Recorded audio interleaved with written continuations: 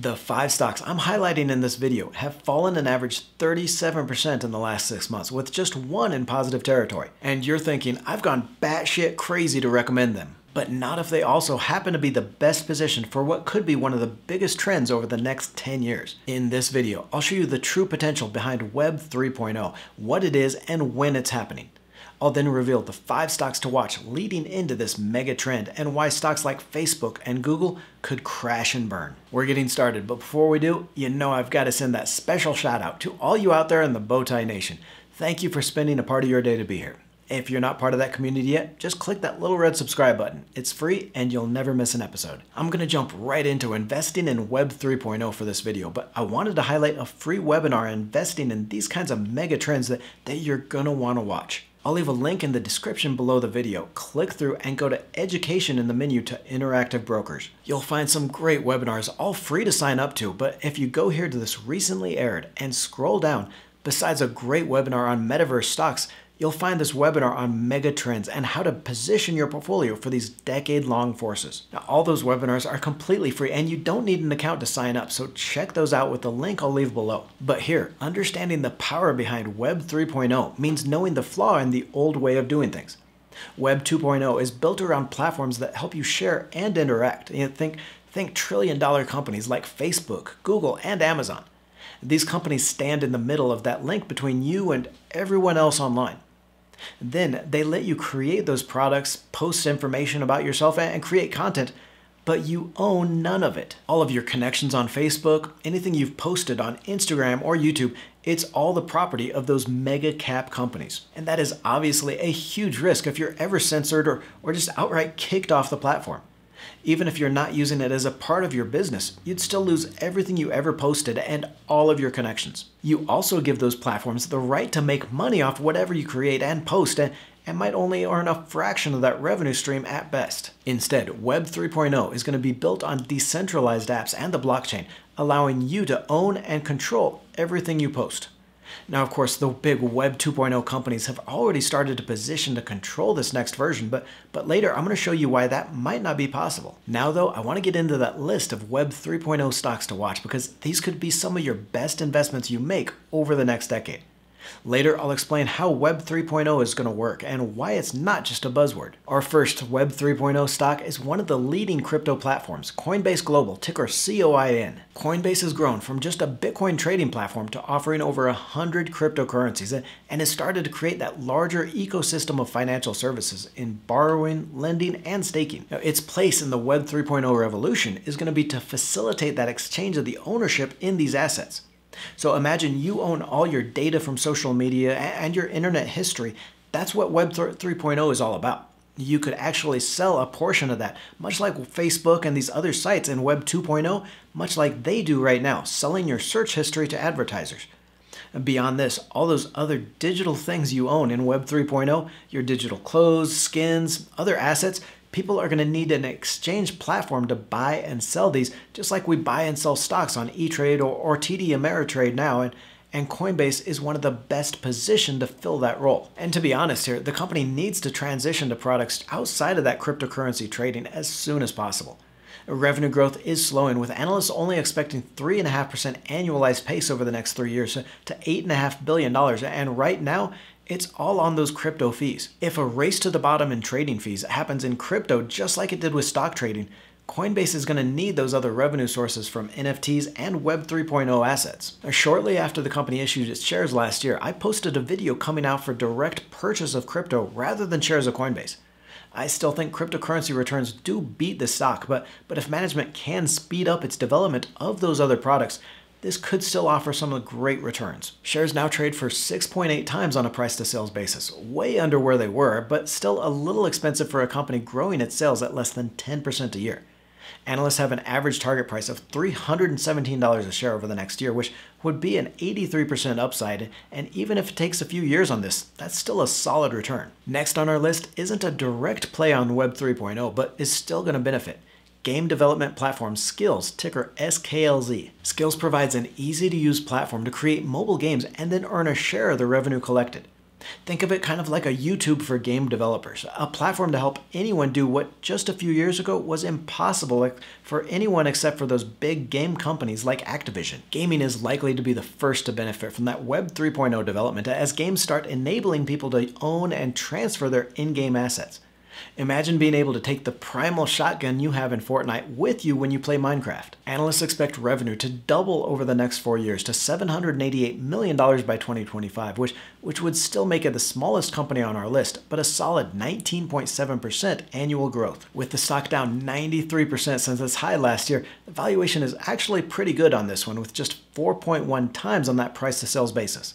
That's cheap for a growth stock, so if Skillz can meet that revenue growth estimate or, or take advantage of Web 3.0, this could be one of your highest returns. And I think a lot of the analysts, like a lot of investors, have given up at this point.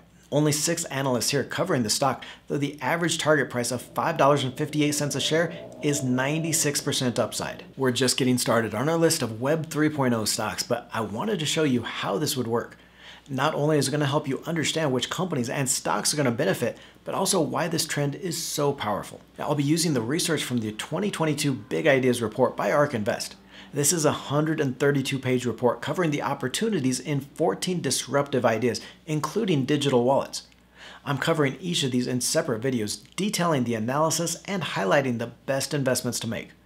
I'll be putting this video and all-day analysis into our ARK Invest 2022 Ideas playlist, so make sure you check that out. Much of the control and ownership in Web 3.0 is going to be managed with NFTs, those non-fungible tokens that that have so far been used just for little weird pictures of chimps, but, but have so much more potential. NFTs represent ownership of digital data stored on the blockchain, data you as the owner can control and use. So not only would you own the data you share online, but monetizing that data would be a fraction of the cost.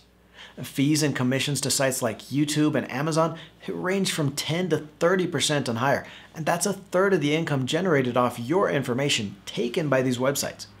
Don't forget, legally, they own that information, so they can just kick you off the platform at any time and take a full 100% of that money. But here with sites like OpenSea, enabling the creation and use of NFTs, they charge a fraction of this, just 2.5% on OpenSea, and even less on some of these other newer NFT platforms. And while that weirdness of the bored apes is getting all the headlines, this idea of owning digital assets through those NFTs and the Web 3.0 is already becoming a reality. We've already seen it with the creation of applications in finance, that DeFi revolution that, that is enabling decentralized lending, borrowing, contracts, and even stock investing. And that larger opportunity here is immense. ARK estimates that Web 3.0 is going to start driving online spending in the years to come, growing by 28% annually to $12.5 trillion by 2030. Next on our list of Web3 stocks is Block Inc., ticker SQ, formerly Square, at $67 billion market cap. Now, the basis of Web 3.0 is going to be on that peer to peer system. You directly own your internet life, your information, and the assets, and can buy and sell and trade those assets freely with others. Block is already positioned to take the lead in this with its P2P payment system and cryptocurrency platform. And the founder CEO Jack Dorsey has been the biggest champion of Bitcoin and that blockchain revolution.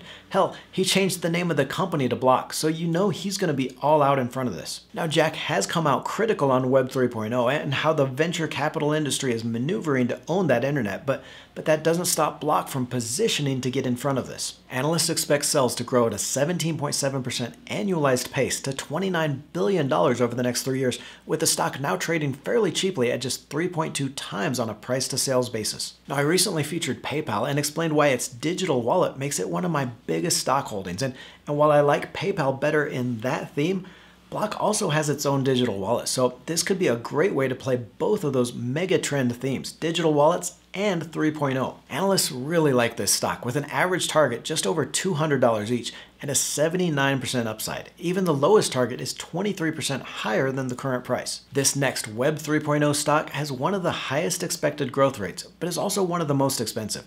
Unity Software, ticker U. Unity offers a platform developers can use to create real-time 3D content and worlds, something that's already being used in gaming but could explode into the development of that metaverse theme. Unity software could be the foundation on which virtual reality and augmented reality worlds are built. Web3 then would be how we interact in those worlds, owning those virtual clothes and the other assets in the metaverse. The company booked 43% sales growth last year to $1.1 billion, and analysts expect it to keep up that 33% annual pace to 3.5 billion in 2025 revenue.